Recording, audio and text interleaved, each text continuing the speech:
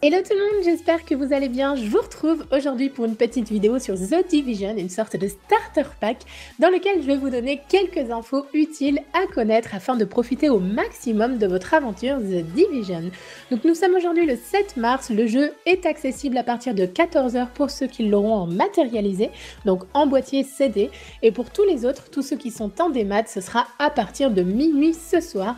Mais pour patienter, sachez, première information, qu'il y a un live Twitch dans lequel 20 youtubeurs plutôt connus du style Primetime Fut Bud Jordan 23, Skyrose, Skyart et Chelsea, Dark Funeral et Pierre, Super Connard ou encore MXM entre autres bien sûr, qui vont s'affronter sur ce live Twitch. Donc je vous mettrai le lien dans la barre d'infos, ça aura lieu de 18h à minuit.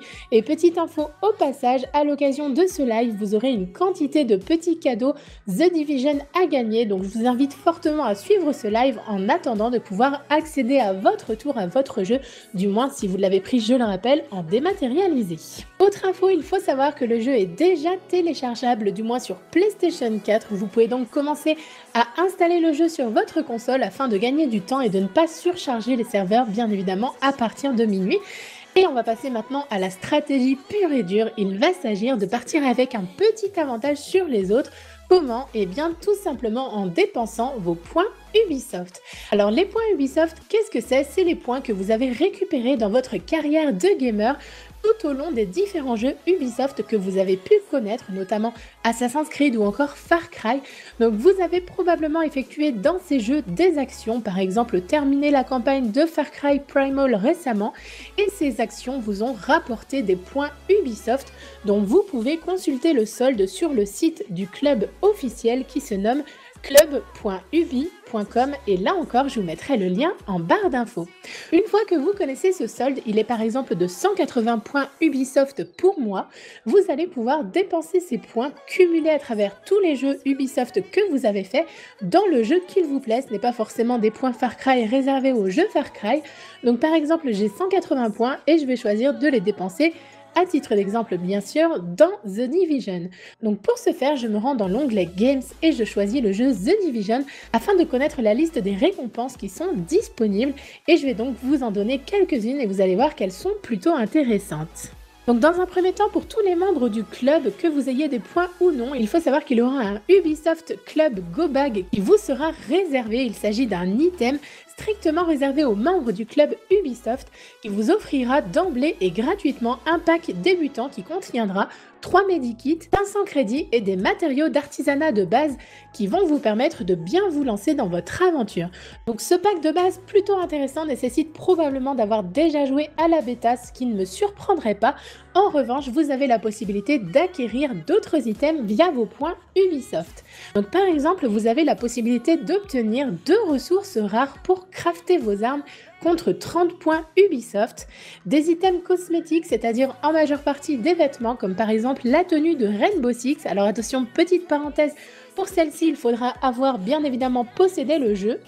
Ensuite, vous pourrez obtenir un ensemble de courtiers qui est ma foi très sympathique contre 40 points Ubisoft ou encore une tenue complète de l'équipe de baseball des Centurions, donc casquette et veste, que vous pourrez obtenir gratuitement sous certaines conditions ou que vous pourrez acquérir en échange de 40 points Ubisoft.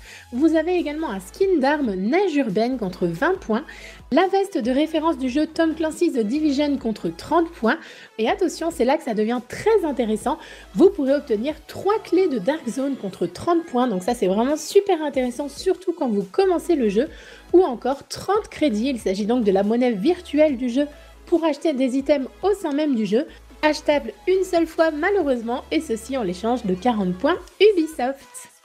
Vous avez enfin pour terminer beaucoup d'autres items comme par exemple de nombreuses images et fonds d'écran, des items réservés aux joueurs de l'alpha de première heure ainsi que de la bêta et tout ceci débloquera un badge sur votre club Ubisoft qui vous permettra alors de porter fièrement les couleurs de The Division.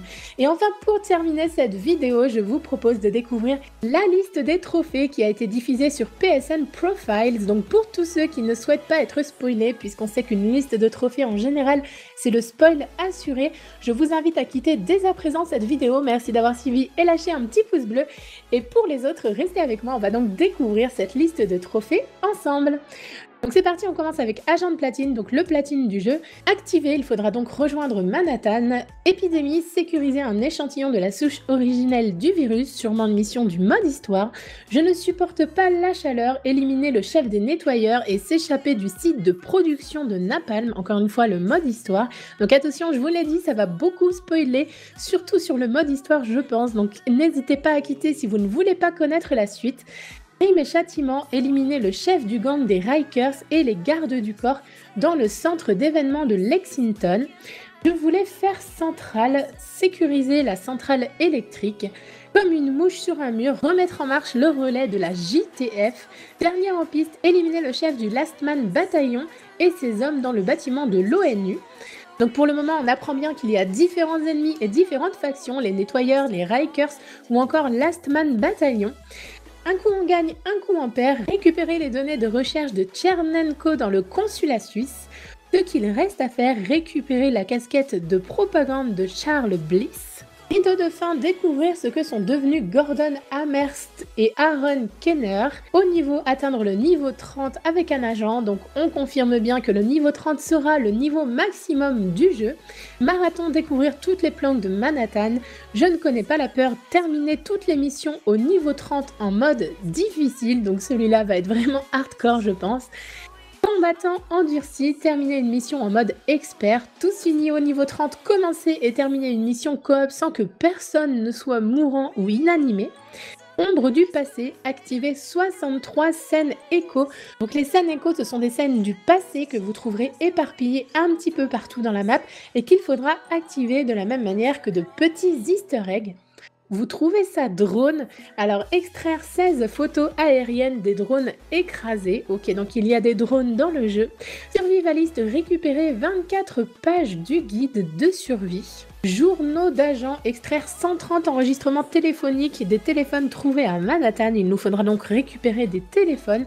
Le découvreur, récupérer 20 profils d'agents disparus de la première vague de la division. On apprend donc que nous ne sommes pas la première vague de la division. Il y a donc eu d'autres personnes comme nous avant nous. Nous ne sommes pas les premiers combattants après le virus. Donc il y a forcément un lien avec l'histoire du jeu. Rapport d'incident, extraire 40 rapports audio d'incidents des ordinateurs portables de la JTF. Implantation, rejoindre Faylo à la base d'opération. L'ingénieur sauver Paul Rod, le docteur sauver et exfiltrer Jessica Campbell. Donc ça c'est vraiment l'émission du mode histoire. Capitaine sauver Benitez, à la pointe améliorer la base d'opération au maximum. Donc tout ça c'est vraiment les ailes médicales, sécurité, etc. C'est vraiment l'histoire de base compétences équipées 10 modes de compétences différents. Là, on va entrer, je pense, dans le côté un peu technique du jeu, avec par exemple compétences d'élimination, éliminer 50 ennemis en utilisant des compétences.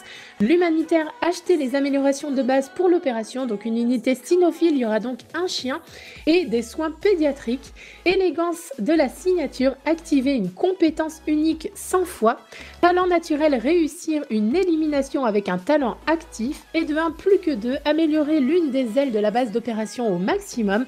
Réparateur supérieur, améliorer au max deux ailes de la base d'opération. Bling Bling, remplir tous les emplacements d'équipement avec des objets supérieurs de haute qualité. Fabriquer 10 objets pour douer de mes mains. Maître artisan, fabriquer un objet de haute qualité critique destructive, démanteler sans objet, à la recherche d'un groupe, donc rejoindre ou créer un groupe, médecin réanimer un coéquipier 20 fois en coop, Appuie-toi sur moi, soigner ou améliorer des alliés 100 fois quand vous êtes en groupe. Réseautage terminé 20 missions en groupe. Donc il va vraiment falloir beaucoup jouer la coop sur ce jeu. Ça vous prouve encore une fois que l'accent est vraiment mis sur le jeu en groupe, en coop, sur la communication d'équipe. Fermez cette porte, fermez une porte de voiture lorsque vous êtes à couvert, pourquoi pas. Attaquer l'arsenal, éliminer un ennemi avec chacune des 6 classes d'armes. Ça vaut le coup d'attendre, réussir à extraire un objet contaminé de la Dark Zone, donc ça c'est un grand basique. Extraction de masse, extraire un objet de chacune des 8 zones d'extraction, donc il y aura donc 8 zones dans la Dark Zone. Piller, extraire un objet supérieur ou de haute qualité de la Dark Zone. Chasseur de tête, éliminer une élite nommée dans la Dark Zone. Donc ça c'est probablement éliminer soit un rogue, soit un chef supérieur, donc ceux que vous voyez en jaune avec des gros boucliers blancs. Vous venez d'entrer sur la liste, donc éliminer 10 ennemis nommés de la Dark Zone. Donc juste avant c'était une élite nommée, là ce sont des ennemis nommés.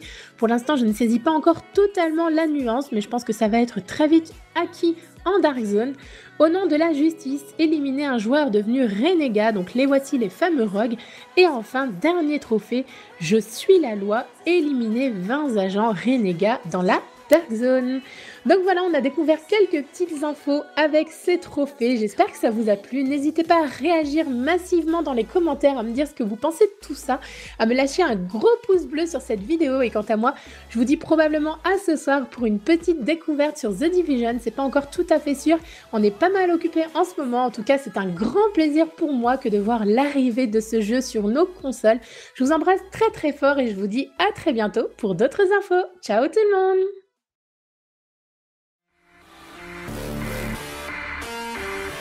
Bye.